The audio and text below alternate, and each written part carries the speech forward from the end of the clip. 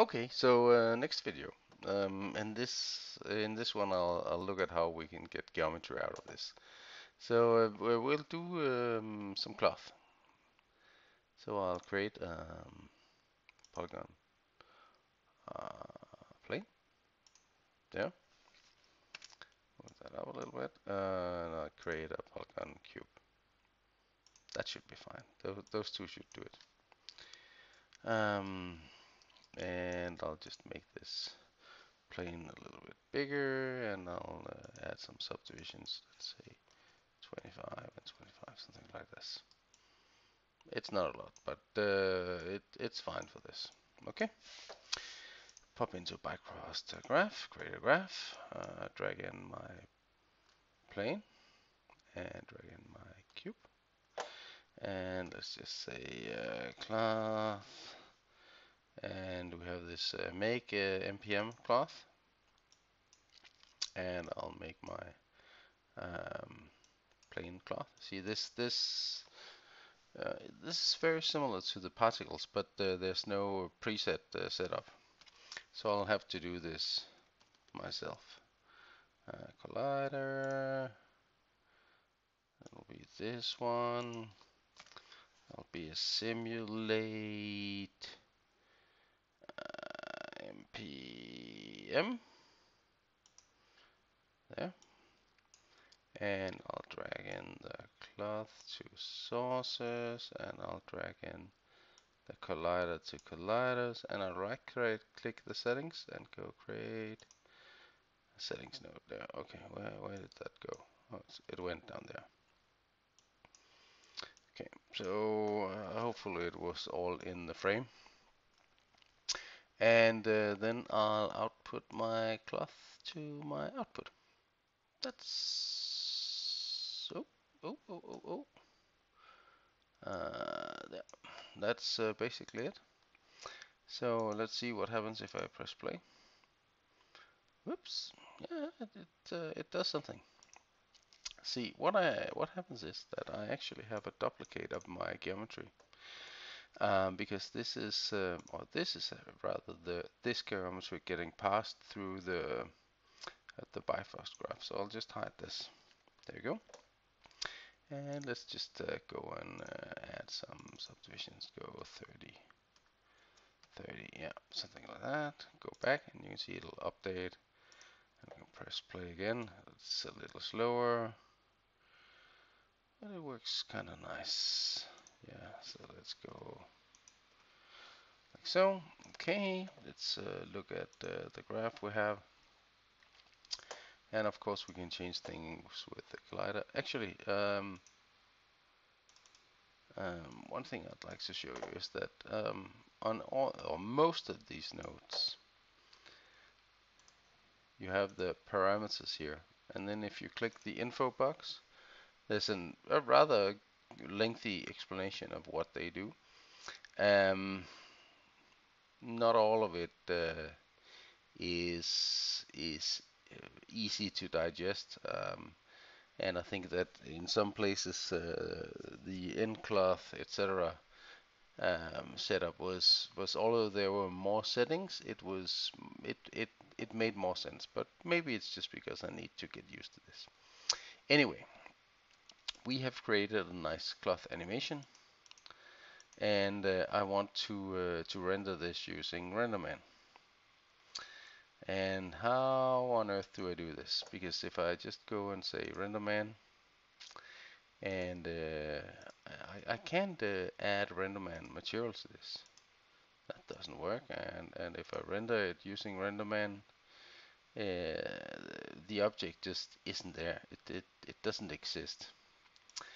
So um, what do I do? Now this is a little bit funny, uh, and it only works for geom uh, geometric uh, objects for now, but I guess that this is something they're working on. I need to go in and open the node editor.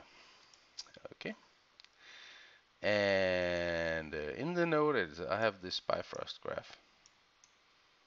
Mm, did I get everything? Uh, yeah, I'll just put it over here.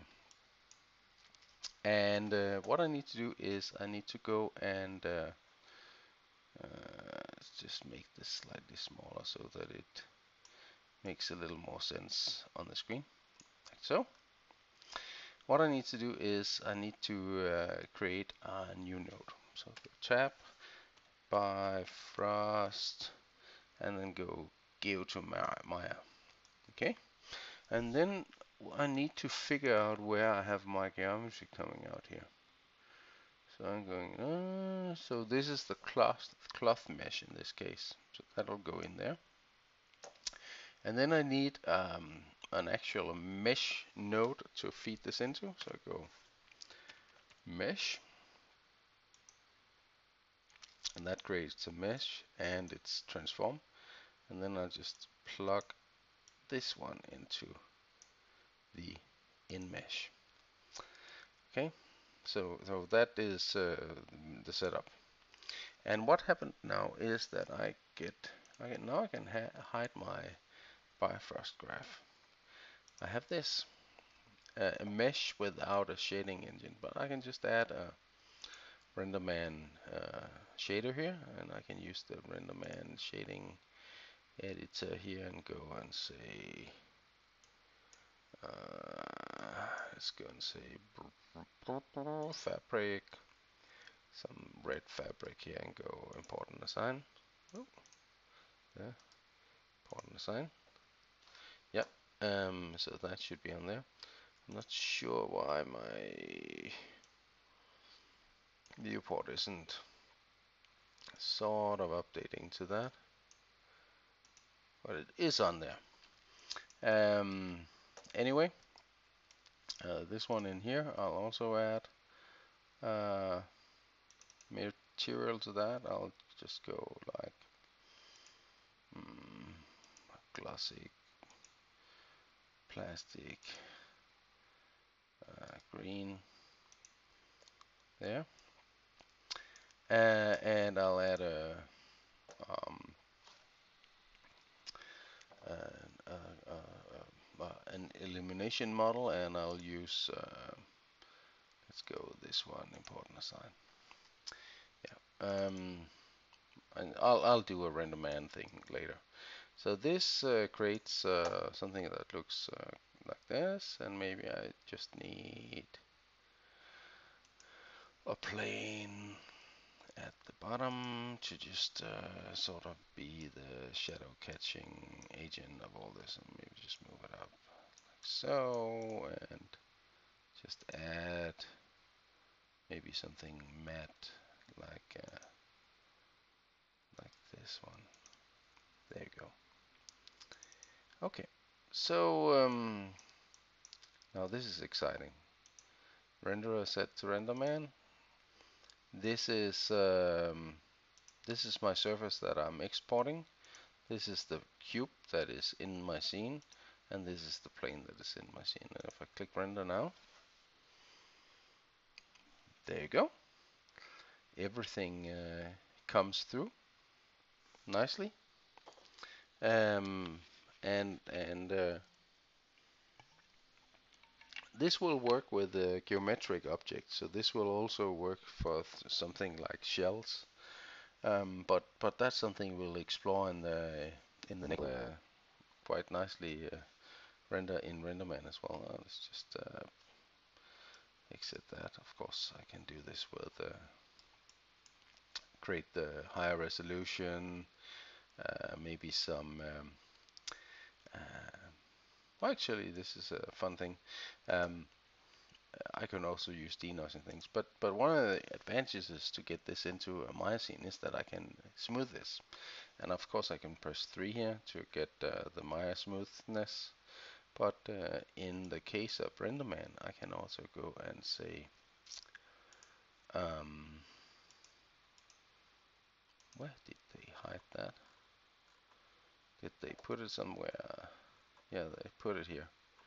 See, it always changes. Uh, look, so uh, RenderMan subdivide in subdivision scheme, set it to cut clock. And if I render this now, um, it will of course be the same uh, image as before, but uh, you should see that it is smoother. Just stop it here. So you can see this is the the one before, and this is the one after I smoothed it. So it looks much nicer now.